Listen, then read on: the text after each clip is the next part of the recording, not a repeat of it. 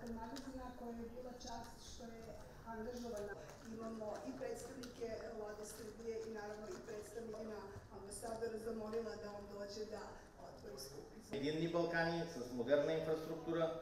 и добър живот, за да се желателна хипотеза.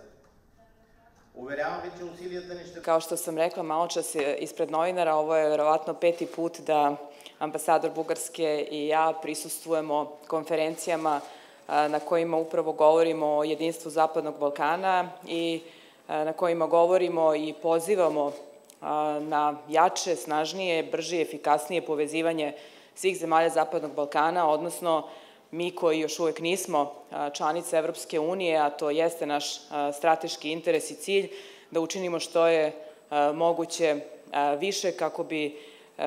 uspeli da ne samo budemo članice Evropske unije, zato što to pitanje vremenske odrednice je nešto o čemu možemo možda i da, da raspravljamo, ali ono što je važno za našu zemlju jesu standardi, bez kojih čini mi se da ne možemo da očekujemo ni razvoj, pre svega privredni razvoj i sve ono što mi želimo kao država da postignemo. Tako da mi je drago da sam danas ovde, drago mi je da su ovde i zamenici ministara iz dva vrlo važna ministarstva. Mi zajednički radimo ne samo na povezivanju fizičkom, nego mi zajedno radimo i na otklanjanju tih takozvanih nefizičkih barijera koje danas definitivno postoje kada govorimo u oblasti transporta, kada govorimo o stajanju naših vozova ili e, transportnih sredstava na granicama između država. Mislim da je to ono na što posebno moramo da obratimo pažnju u periodu ispred nas. Ali kada govorimo o Zapadnom Balkanu, zajedničke su dve stvari. Jedno je, naravno, naša prošlost, koja nije bila ni jednostavna ni laka i potpuno sam saglasna sa svima da prošlost treba ostaviti prošlosti, ali kada se donose odluke u budućnosti, onda se nekako ne može zaboraviti e, ne činjenica ko je zašta odgovoran, e, nego činjenica na kom smo stepenu razvoja u odnosu na razvijene zemlje Evropske unije i zašto već nismo možda članice Evropske unije. I to je nešto što se često može čuti i u raspravama. Dakle, imamo prošlost koja nije jednostavna, dok su se neki drugi razvijali, mi smo se bavili nekim drugim stvarima na ovom terenu. Koštalo nas je to, naravno, našeg privrednog ekonomskog razvoja, koštalo nas je odlaska mladih iz naše zemlje, iz našeg regiona, koštalo nas je nemogućnosti da postignemo sve one planove, odnosno sve one ciljeve koje smo sebi zadavali prethodnih 10, 15 i više godina. Sa druge strane, poslednjih nekoliko godina Srbija zaista beleži i u ekonomskom, privrednom, dakle, smislu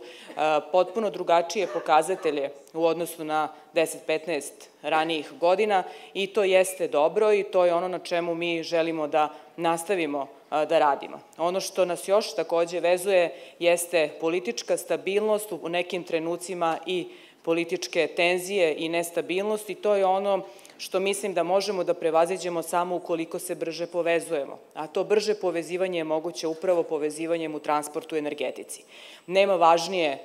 povezivanja od konektivitija, odnosno transportnog i energetskog povezivanja svih zemalja Zapadnog Balkana, dokle god je naš zajednički imenilac životni standard i povezivanje naše zemlje će se više poštovati. Ako se to izgubi, ako tog povezivanja nema, onda nema ni mogućnosti da se e, povezujemo, samim tim nema mogućnosti za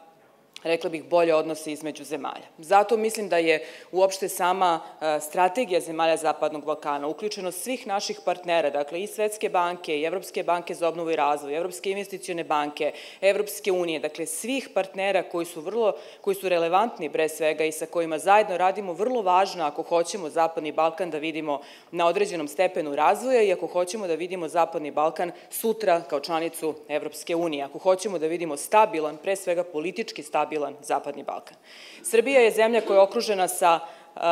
odnosno graniči se sa dosta zemalja, samim tim za nas je od presudnog značaja povezanosti i nije onda ni slučajno što u evropskoj mreži, transportnoj mreži Srbija zauzima, dakle Zapadnog Balkana, zauzima, rekla bih, ključnu poziciju. Neke, neke veze već sa zemljama postoje, neke se završavaju. Ono što nas čeka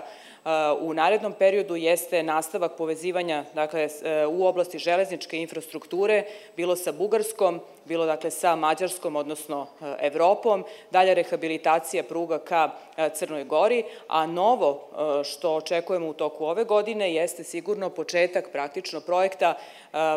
autoputa Mira, to jest puta Niš-Merdare-Priština, prve deonice Niš-Pločnik koja je dugačka 38 km, za koju očekujemo do kraja ove godine raspisivanje javnog poziva i početak gradnje. Naravno, to nije sve, mi intenzivno razgovaramo o povezivanju Srbije sa Bosnom i Hercegovinom, postoji interesovanje i sa jedne i sa druge strane, postoji interesovanje investitora da gradimo autoput ka Sarajevu, dakle to je jedna veza koju do sada nismo imali, intenzivnim razgovorima, bez obzira na određene tenzije koje danas postoje, ali intenzivnim razgovorima između Srpske i Hrvatske vlade, mi danas možemo da govorimo i o pripremi dokumentacije za rekonstrukciju pruge između Beograda i Zagreba. Sve su to veze koje su važne za ceo region, naravno sa stanovišta člana vlade Republike Srbije za Srbiju od ogromnog značaja da se ne desi situacija da nismo povezani sa bilo kojom od država sa kojom se graničimo. Ali ono što bih, pošto će biti puno rasprava ovde i tu su naravno i direktori železnici i pričat će o projektima povezivanja i brzoj pruzi između Beograda i Budimpešte, ali i rekonstrukciji pruge Niš-Dimitrovgrad i daljim rekonstrukcijama pruge, dakle od Beograda dole ka Nišu. Mislim da smo svi svesni, bar mi koji sedimo ovde, a čini mi se da treba da u to ubedimo i sve druge koje ne samo donose odluku, nego koji treba da imaju jednu percepciju zašto sve ovo radimo, mislim da je važno znati da budućnost zaista ne dolazi sama od sebe, da samo našim zajedničkim radom, upornim radom u povezivanju mi možemo da prevaziđemo probleme koji su dosta sveži i postoje, ne samo iz prošlosti, nego i iz današnjeg perioda. Prema tome, očekujemo od ove konferencije da nam pomogne da na svim onim budućim konferencijama gde ćemo donositi odluke o novim projektima povezivanja da nam pomogne da donesemo te odluke mnogo brže i da budemo zajedno sa Evropskom unijom brži u realizaciji projekata. Mislim da često